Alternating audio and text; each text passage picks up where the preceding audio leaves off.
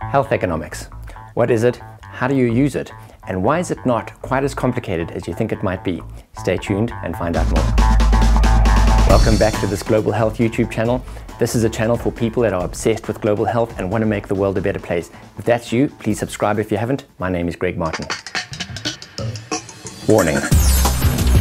This video takes an unconventional look at economics. If you're a PhD in economics, you might want to look away now or watch this video under the supervision of a normal person.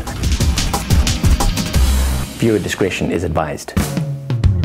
But first, a big thank you to DCP3 for their support. DCP3 stands for Disease Control Priorities 3rd Edition. DCP3 is a nine-volume series that promotes the use of economic evaluation for priority setting across the world, particularly in developing countries. DCP3 has been produced by experts in health from across the world. The project has been led by a team at the University of Washington's Department of Global Health. It's important and fascinating work, and it aspires to change the way the world saves lives. Find out more at dcp3.org or click on the link that's in the description below. Now, my very broad definition of economics, and a small caveat, this is not an answer you want to put in an exam, this is rather something you'd write out in left-handed crayon. My definition of economics is, economics is the science of how we decide what to do with our stuff. And by stuff, I don't just mean money.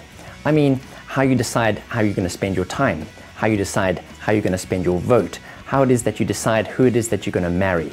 It's about your preferences and the incentives and disincentives that drive the decisions that you make.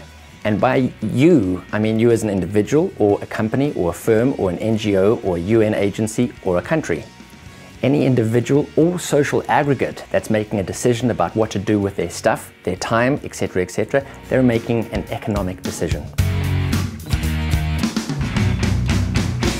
Now, let's talk about economics and health. What decisions get made that affect health, and how can we use economics to better understand those decisions? First, let's think of ourselves as individuals. Every day we make choices. Some of them are lifestyle choices. What am I going to eat? How much am I going to exercise? Some of them are choices about the extent to which we're going to access healthcare. And whenever we make those decisions, we're weighing up the value of the expected outcome or, or the benefit against some set of alternatives. Next, healthcare providers, pharmaceutical companies, health insurance companies also need to make choices and decisions. And their choices are largely about setting the right prices and providing the right quantity of healthcare related product and healthcare related services. And of course, that price setting has got a lot to do with the cost of producing the healthcare service or producing that product. Governments need to make decisions about how to spend their healthcare budget. They're interested in getting the most bang for their buck, but they're also interested in things like distributive justice and providing care for the poor. Incidentally, I've got a video on distributive justice and I'll provide a link for that in the description below this video. Governments need to make decisions like, are they going to rely on private healthcare provision? Or should healthcare be free at the point of service? And if so, which services should be included? NGOs and bilateral and multilateral funding agencies need to decide how it is that they're going to spend their resources and their money and how it is that they're going to get the most bang for their buck. So to choose between possible interventions, they may decide to calculate the, the cost per disability adjusted life year averted for each of those interventions. In each of these examples, somebody, either acting for themselves or acting on behalf of some sort of aggregate or some sort of organization, is needing to make a decision.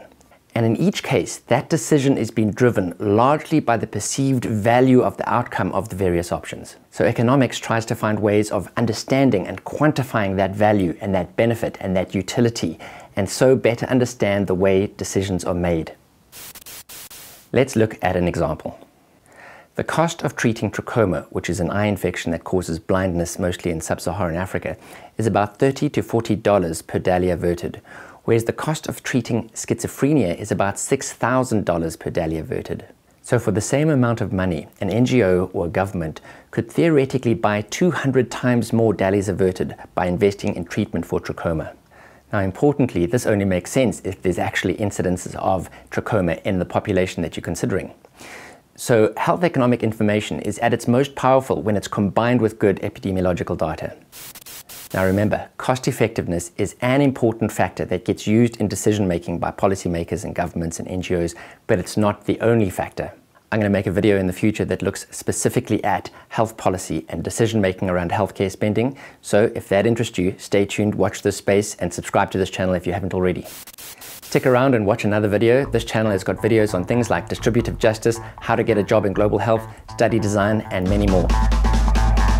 And remember, make a comment below. I'd love to hear your thoughts on health economics. Thanks for watching. Find out more about DCP3 by clicking on the link in the description below. Take care.